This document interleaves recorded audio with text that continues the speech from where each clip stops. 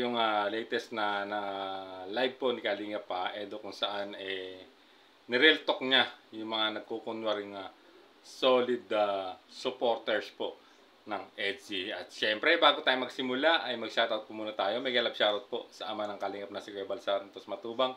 Ate Edna Vlogs, Kalingap Robson po ng kanyang mga kasamahan.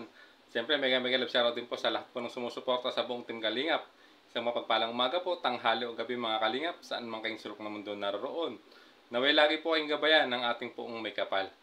At yan guys, pakinggan natin itong ah, maging, ah, naging ah, mga sinabi po ni Kalingap Edu sa ah, nakaraang live niya ng kagabi guys. So sundan po natin. Ha? Basta nag-usap po kami kanina ni Arjun. Tapos, kwento niya lahat sa akin yung mga experience niya sa mga bashers. Tapos, kung ano yung mga yung mga issue na gawa ng mga ano, siyempre, yung, kasi pina, naglaki lalo eh. Sa akin kasi, hindi ko naman masyado inaakala na magiging ganun ka, ano, severe yung ano, yung usapin, ano, kala ko eh, ano lang, para magiging ano lang, sa amin, sa amin lang, ganun lang. So dito guys no? At ah, dito ayan no? Pinuntahan na niya no? At ah, no si Arjin ang kanyang beneficiaryng uh, nasangkot sa nakarang issue no alam naman natin yon at ah, dito no ay nagbigay siya ng ilang detalye kung ano yung napag-usapan nila no ng kanyang beneficiaryng si Arjin guys so sundan pa natin Kasi kinontent kaya, lalo lumaki. Yung iba, parang ano talaga. So ayun, kumalat ng kumalat. At ayun, naka-apekto dun sa bata.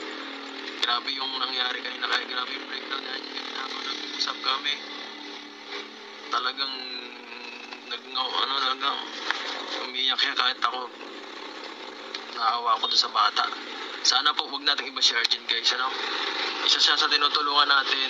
Dapat support natin siya sa, sa alam natin po minsan may, may nagagawa tayong mali minsan ano yung nagawa naman po ni Arjun hindi naman po ganun kasi pero ano parang ano lang po yun syempre na ano lang naging desperado lang minsan sa kanya mga ano na gusto lang din magkaroon ng extra income. Kaya ayan. So ayan guys no? At nandito ay ah, nakiusap siya no sa kanyang ah, mga viewers na huwag na iba si Arjen no? At ah, suportahan na lang kasi nga po si ah, kung talagang ah, nagmamahal at ah, totoong sumusuporta no? Ah, ang ah, mga manonood niya sa kanyang channel which is ah, ah, tama naman no o may punto rito si Kalingap Edo no talagang ah, Siyempre, beneficiary niya yan. ah, talagang ah, ano niya yan. ah, talagang ah, grabe yung kung ano kung paano yung pag, pagmamahal niya, no? Sa mga beneficiary niya ay talagang pinapakita niya na talagang dito ay nakiusap naman nakiusap siya na huwag na iba si Arjen. Although no na huwag nang gawin nga hindi naman ganun ka ano talaga severe o kalala yung naging nagawa niya although siyempre tumatak ito sa mga manonood sa mga ibang supporters po na ni Kalinga Pedro, specialist na sa, sa mga sumusuporta po sa Tambalang EDC. Kaya po siguro ah, medyo hindi rin maging maganda yung mga naging ah, naging ah, mga binitawang salita no ng mga supporters laban po sa beneficiary po ni Kalingap Edu na si Arjen guys. So sundan pa natin ang iba pang ah, sasabihin po ni Kalingap Edu rito. Kaya naisip niya kasi minsan talaga pagka ano busy natin, minsan hindi natin napupuntahan yung iba natin. Hindi naman natin sinasabi na parang napapabayaan, ano. Um, ano lang, alam ko naman na may mga ano pa, may nakaya pa. Pag, pag alam kong hindi na talaga, kasi alam mo, sinecured ko na agad yung ano, tuition fee at saka yung boarding house, yun, okay na yun sa akin. And, Basta kaya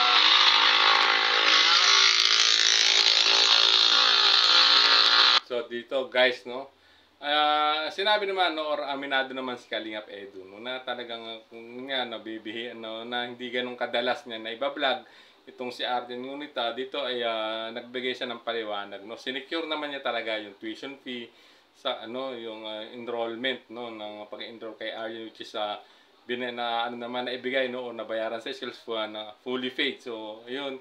At ah, at ah, isa pa sa naging dahilan din po ni Kalinga Pedro. Siyempre sa dami na rin po, lumalaki na po yung tinutulungan niya. So, guys na kung ah, hindi niya agad na madalas mabisita si Arjin, no kasi nga tulad ng sinabi niya, marami na rin po siyang tinutulungan. Marami po no yun na yung iba nga hindi pa nga rin niya na nababalikan or hindi din ganun kadalas ma-vlog. Pero talagang alam niyang ah, sinisikap niya ito na mabisita lahat, guys. So, sundan pa natin.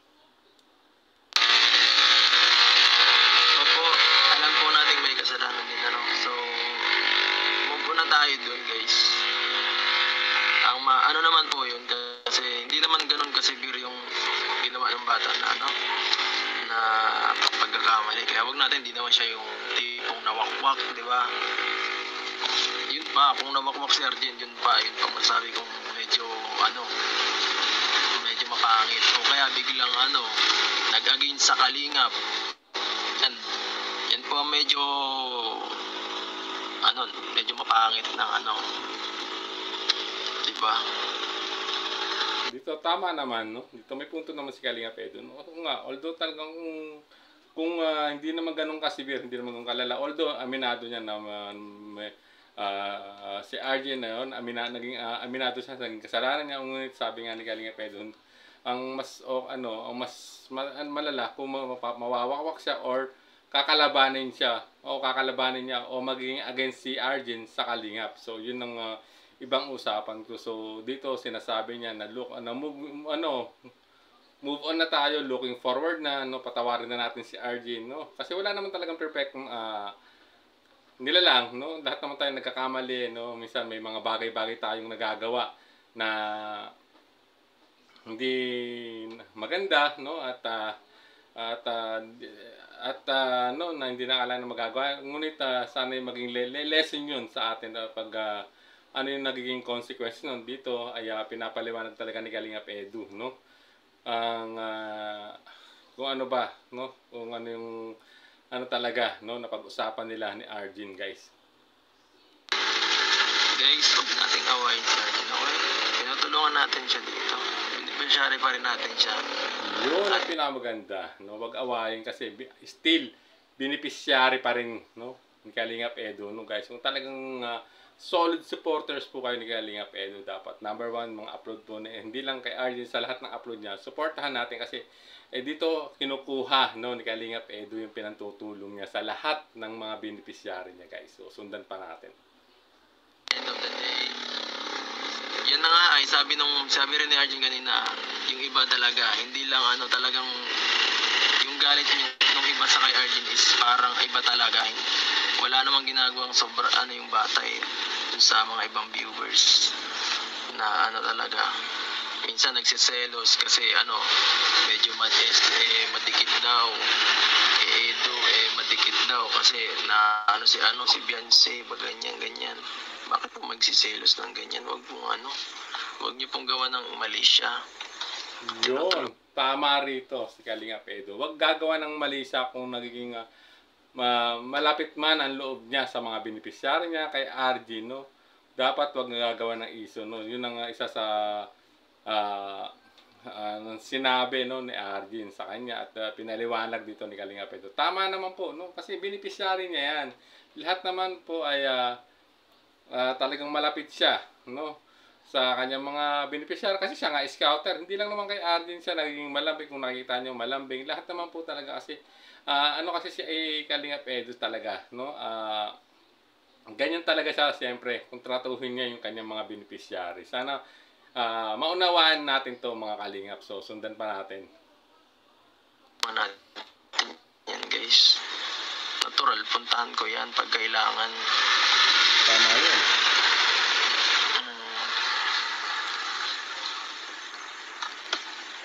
Mm, guys, hindi sa kinakampihan ko talaga siya ng ano, no, hindi, hindi yun pagiging bias sa ano. Kasi kung mali talaga siya ng sobra, eh, ano ko talaga siya, gaga, ah, pagsasabihan ko talaga siya ng sobra. Eh, maliit na bagay man lang yan eh. Kunting, kunting correction lang naman ang kailangan nun. Ako, Arjun, tama na ganyan. Diba? Tsaka ano pa, sabi daw, binash pa, dyan, pa siya sa ano, doon sa kanyang pagkakasakit sa ano daw, di na lang siya gumaling, ganyan. Ba't ganun po? Sabi niya kanina sa akin, ang pangit, ang pangit ng mga ibang ano, bashing.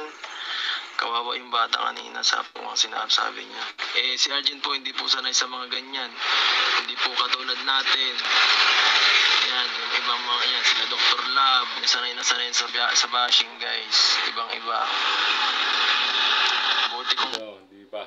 Tama. No, dito medyo pangit naman din yung ah ah, ganong ah, ano ah, sinabi no o do sa sinabi ni Kalinga Pedro rito no, no pati yung ah, ah, pati yung pag, pagkakasakit o pagkaka-hospital ni Arjun ay ginawa pang issue. Napakapangit naman po talaga. Eh, siyempre, number one tutulungan po talaga siya ng kanyang ah, scouter, no? Kasi ah, ano yun, ah, so, kung, kung na-hospital man si Arjen, siyempre, ah, ano rin po yun ni Kalinga Pedro bilang scouter niya, no? Kung ano man yung maibibigay niyang tulong, no?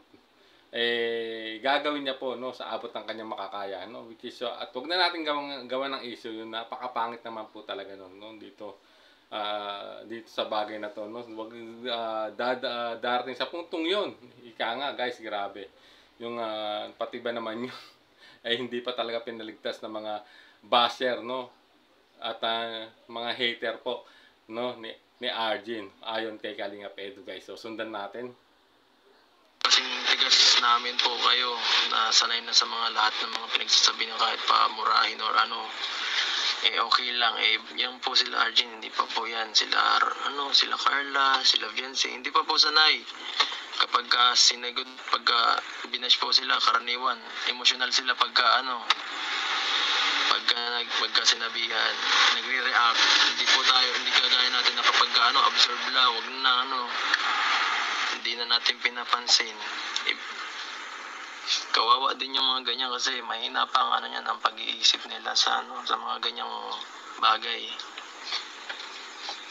Panoorin niyo bukas guys, sigurado. So, ayan nga, pinaliwanag niya rin, no, guys, no, na, no, which is yung, ah, yung, ah, yung nararanasan nila Arjen, na ibang angel sa pambabasi, talagang, ano, ah, hindi pa nila kayang anuhin talaga. No, hindi katulad po ni Kalingap Edu na nasanay na sa siya, hindi talaga siya sumasagot. Hindi, or dineded mo na lang niya, no. Ah, si Arjin at iba pang ah, angel, si Viance, si Carla na binanggit ni Kalingap Edu. Totoo naman yun, no, siyempre. Although, hindi naman masamang talagang sumod, kaya lang siyempre, hanggat maaari, wag mo nang ah, patulan, ika nga, kasi lalo kang iinisin ng mga kritiko mo or mga basher mo, no? Kasi habang ah, pinapansin mo sila, lalo kang ah, ah, ano niyan, na ibabas, no? Or gagawan ng ah, ika iinis mo talaga, no? Lalo, lalo kang maiirita, no? Lalo ka nilang iinisin, ika nga, guys. So, sundan pa natin. Para, para tumigil na kayo mga magbash magbash sa kanya guys. Kasi kawawa talaga siya. Tama na po. Okay. So, ayan guys ha, talagang nakikiusap na rito si Kalinga Pedro. Tama na, wag na nating iba, wag nang ibas, no? Itong si RG, no? Wag nang ah, bat, ah, pukulin ng mga ah, negative comments, no? Or pag-usapan pa, ika nga, move on na, ika nga, no? At ah, yun nga, na nakausap na naman ni, ni Kalinga Pedro si Arjen, ipinaliwanag na rin naman niya yung side niya kung bakit na nagawa niya yon no? At ah, para kay ah, Kalinga Pedro, hindi naman ganun ka lala o kabigat ang naging ah, kasalanan po ni Arjun guys. So sundan pa natin ang iba pang sasabihin dito ni Kalinga Pedro. Kasi kung ano, kung anak nyo rin ganun, guys, yung mga anak nyo sa sarili nyo, kung ga- ganyan din kayo, hindi nyo rin magugustuhan po. Lalo na yung iba na may personal po. Ang pangit, Yun ang pangit talaga. ang pangit. Dapat nga, love-love lang tayo lahat dito. eh. Yes. Love-love lang. Guys.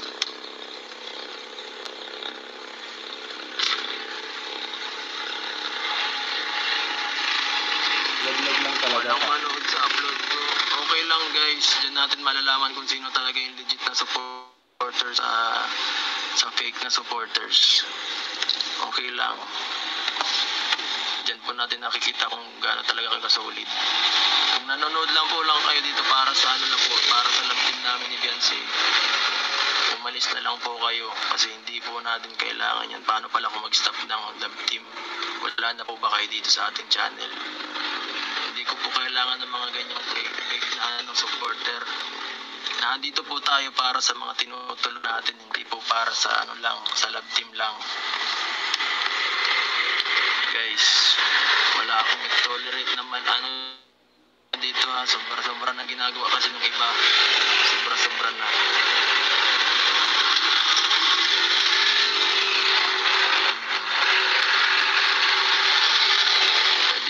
Mag-unsub kayo. Nababasa ako mag-unsub daw. Unsub na guys. Wala akong pake.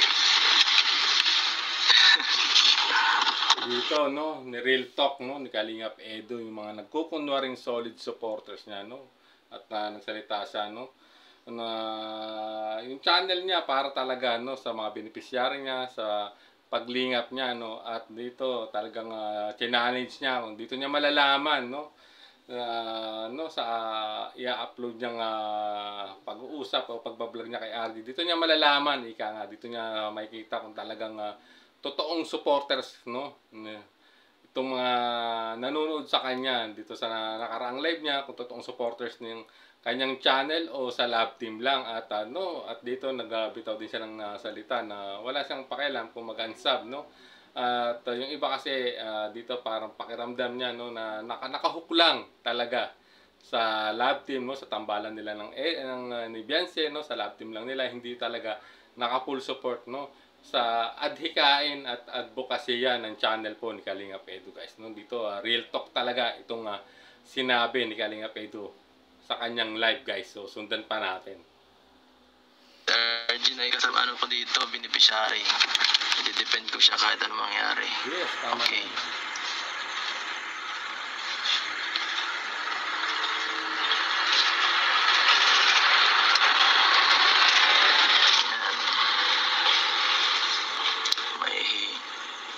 unsub yung mga mahinang nilalang.